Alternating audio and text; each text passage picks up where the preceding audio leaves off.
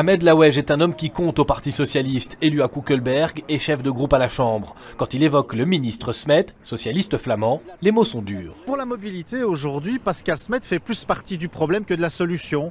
Euh, il doit le comprendre. Ce n'est pas parce qu'une chose est dans sa tête que cette chose est bonne et efficace pour la mobilité la circulation à Bruxelles. Échec du sens unique autour de la basilique de Kuckelberg, fermeture en été du tunnel Léopold II pour rénovation et surtout arrivée d'Uber à Bruxelles, les griefs sont clairement énoncés. C'est un mélange d'incompétence et d'imprévoyance, on, le voit tous les jours. Fait le lit de Uber, qui est vraiment le, paroxysme du, capitalisme agressif, qui est en train de détruire tout un secteur euh, économique, et eh bien Pascal Smet fait tout pour leur servir la soupe. Là aussi, c'est inacceptable. Nous, on est du côté des travailleurs, des gens qui se lèvent tôt le matin, qui, qui ont pour le moment, je parle des taximens, du mal à, à payer leurs factures, à boucler leur fin de mois.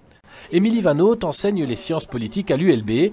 Elle relève que les tensions entre socialistes flamands et francophones se renforcent. Le bras de fer taxi contre Uber est très stratégique. Sur euh, notamment la conception du travail euh, et de la collectivité du travail. Donc euh, d'un côté, on a le Parti socialiste qui défend les taxis et, et leurs intérêts en, tant que, travailleurs. Et puis d'un autre côté, on a le Pascal Smet qui défend des positions un petit peu, ce qu'il appelle des positions de socialisme plus moderne,